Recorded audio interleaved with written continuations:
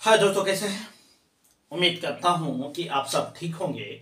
मैं मोहम्मद मुख्तार आप सबके सामने हाजिर हो चुका हूँ एक बहुत ही महत्वपूर्ण टॉपिक के साथ और यह वीडियो आप सबके लिए बेहद ही यूजफुल होने वाला है। तो दोस्तों, आज हम इस वीडियो में आपके सामने रूबरू होकर बात कर रहे हैं। तो आज के वीडियो में जो मेरा टॉपिक है, वो है सेवंथ पे कमीशन यानी सेवंथ पे कमीशन अब आप कहेंगे इसमें जानने वाली कौन सी बात है? तो यकीन मानिए दोस्तों, आज हम इस वीडियो में आपको वो सब चीज़ें बताने वाले हैं। शायद इसके बारे में आज से पहले आपको जानकारी नहीं होगी।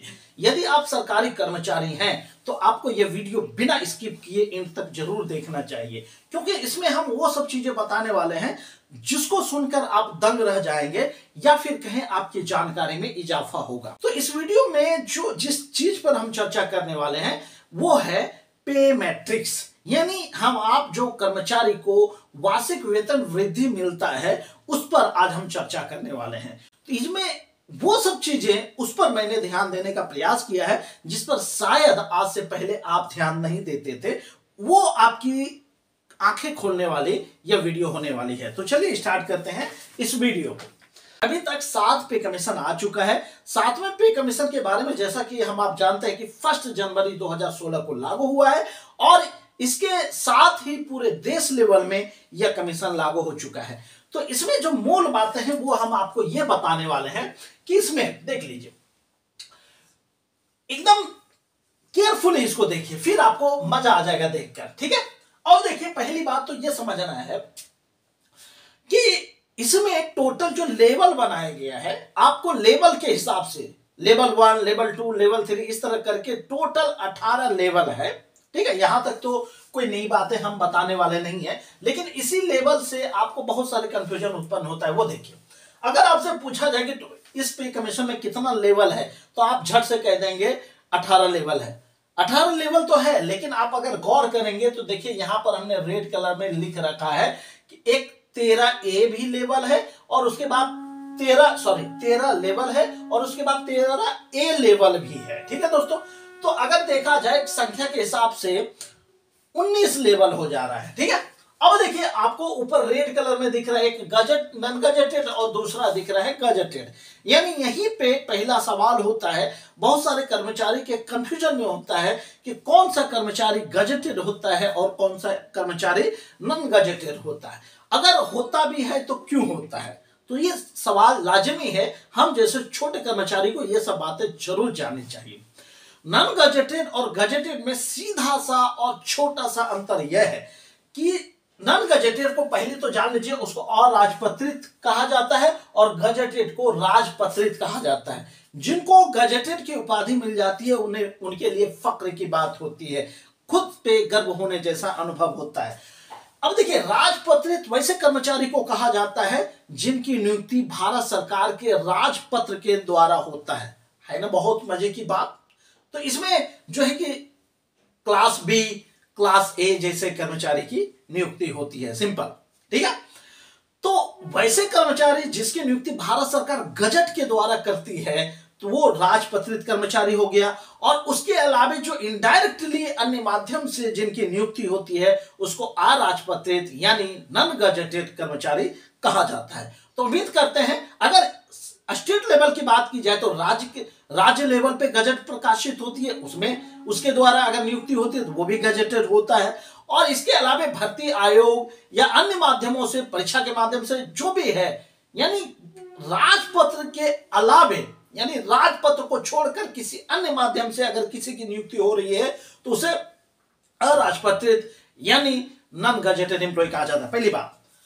अब इन दोनों का सिंपल सा मतलब है, बीच में एक लकीर खींच दी गई। एक से नौ तक अराजपत्रित कर्मचारी आएँगे और दस से लेकर अठारह तक राजपत्रित कर्मचारी आएँगे। यहाँ तक कोई दिक्कत है अगर संख्या के हिसाब से देखा जाए तो नौ लेवल तक अराजपत्रित कर्मी है और दस लेवल तक राजपत्रित कर्मी है। ध्यान दीजिए, तेरह ए भी एक लेवल है। अब देखिए, यहाँ पर जो बड़ी बात है, सेवंथ पे कमीशन में न्यूनतम जो पे रखा गया है, वो अठारह हज़ार रखा गया है। यानी लेवल वन अठारह हज़ार से। और अधिकतम जो वेतन रखा गया है, वो है ढाई लाख का वेतन। यानी सेंट्रल गवर्नमेंट में अधिकतम बेसिक पे क्या हो सकता है? अब आपका दिमाग कंफ्यूज होगा, अधिकतम तो भाई इंक्रीमेंट भी तो लगता है। जैसे आपकी नियुक्ति अगर अठारह हज़ार बेसिक में होती है, हर एक साल आपको इंक्रीमेंट मिलता है। लेकिन एक पे ऐसा भी है जिस पर कोई इंक्रीमेंट नहीं लगता है, और वो है लेवल सत्रह और लेवल अठारह में। इसलिए यहाँ पे देखिए हमने लिखा है फिक्स्ड यानी दो लेवल ऐसा है जिस पर कोई इंक्रीमेंट नहीं लगता है, यानी उसको फिक्स कर दिया गया है। लेवल सत्रह में सवा दो लाख रुपए जो बेसिक होगा, वो वही रह जाएगा रिटायरमेंट तक। और लेवल अठारह में बेसिक पे ढाई लाख निर्धारित किया गया है और वो वहीं तक रहेगा, उसको डीए मिलेगा, हर कुछ मिलेगा, लेकिन उसको इंक्रीमेंट नहीं मिलेगा।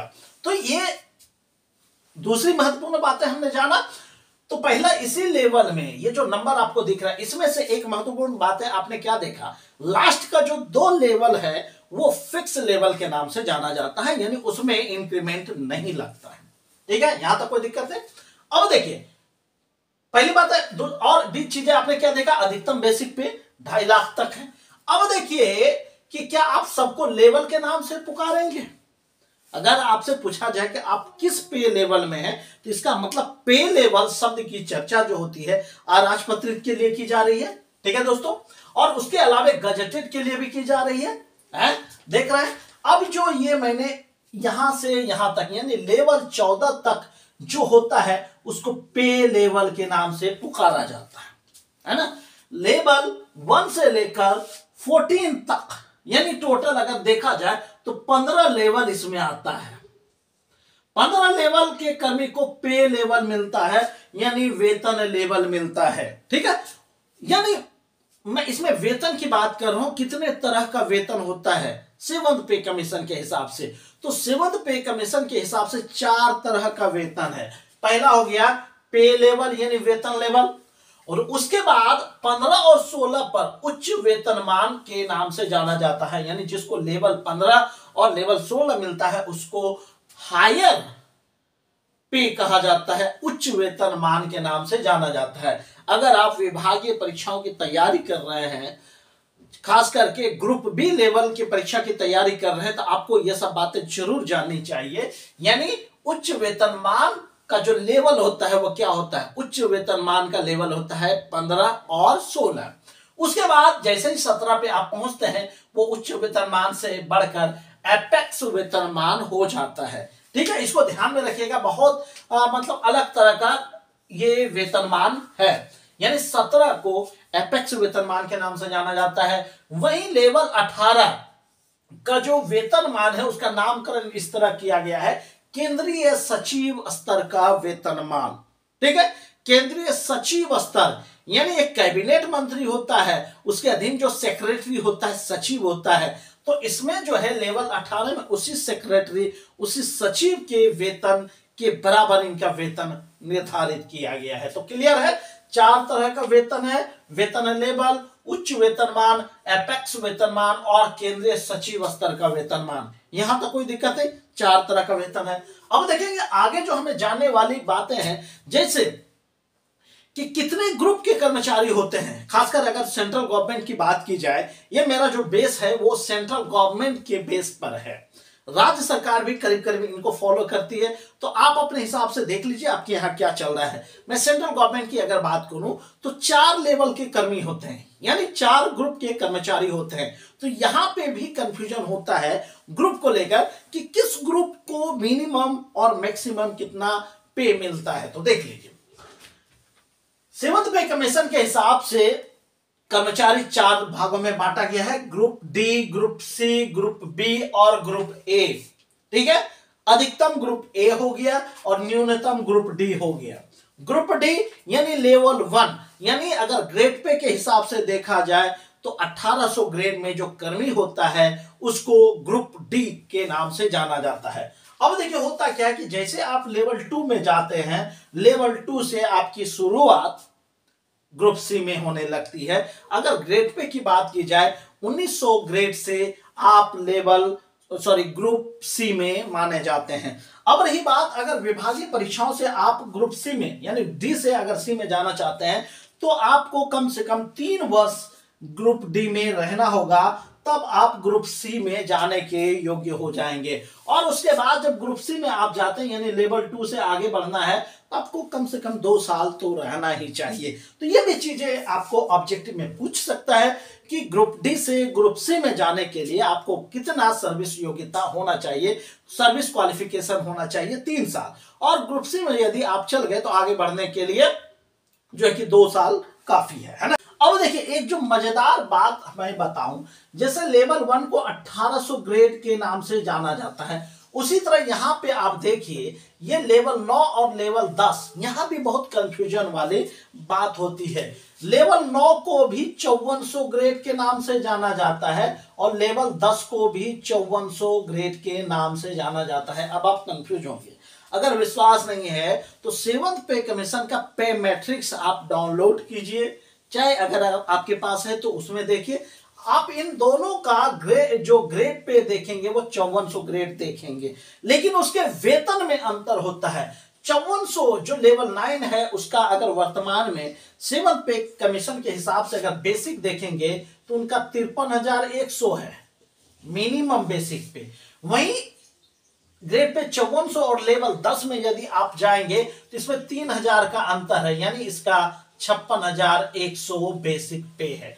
तो देख लीजिए, चौवन सौ ग्रेड पे अगर किसी ने कहा तो उनसे लेवल ज़रूर पूछिए। क्योंकि लेवल नौ तक वो नन गजेटेड होता है, जैसे ही लेवल दस में पहुँचता है, वह गजेटेड हो जाता है। यानी चौवन सौ ग्रेड वाला जो है, वो गजेटेड में भी है और नन गजेटेड में भी है। तो अगर आपसे पूछा जाए कि नन गजेटेड इंप्लॉय का अधिकतम वेतन कितना हो सकता है तो आप उस समय शुरुआती आप कहेंगे तिरपन हज़ार एक सौ होता है। उसके बाद उनको इंक्रीमेंट भी मिलेगा, है ना?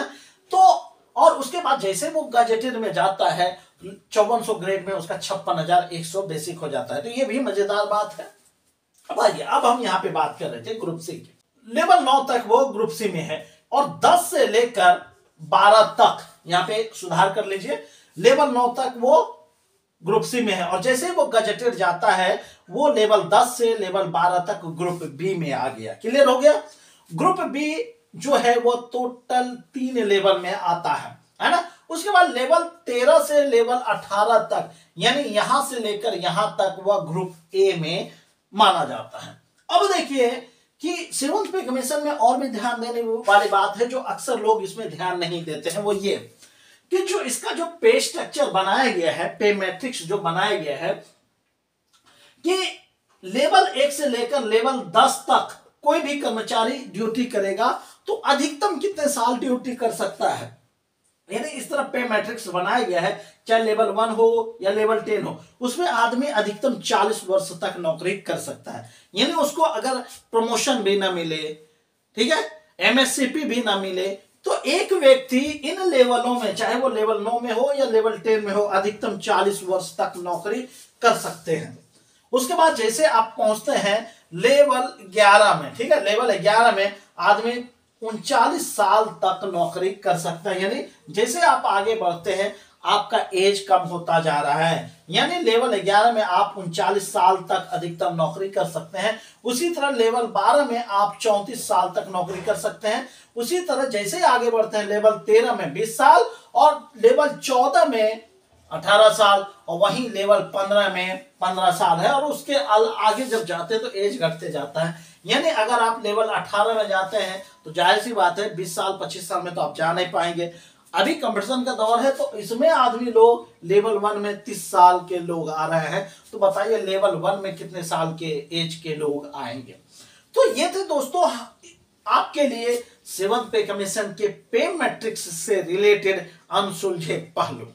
तो उम्मीद करता हूँ कि यह वीडियो आपको इंटरेस्टिंग लगा होगा और ज्ञानवर्धक भी लगा होगा। तो ऐसे ही ज्ञानवर्धक वीडियो हम आपके लिए लेकर आते रहते हैं। तो आपसे निवेदन है कि अगर आप पहली बार चैनल पर पता रहे तो चैनल को सब्सक्राइब कीजिए, दोस्तों में से जमकर शेयर कीजिए, क्योंकि यह जो मैंने एक मुहिम छेड़ी है, इस मुहिम को आगे बढ़ाने की ज़िम्मेदारी आपकी है। थोड़ा हम मेहनत कर रहे हैं, थोड़ा आप मेहनत कीजिए। तो चलिए मिलते हैं किसी अन्य वीडियो में अन्य महत्वपूर्ण टॉपिक के साथ। तब तक के लिए खुश रहिए, आबाद रहिए, ज़िंदगी में आगे बढ़िए। जय हिंद, जय भारत।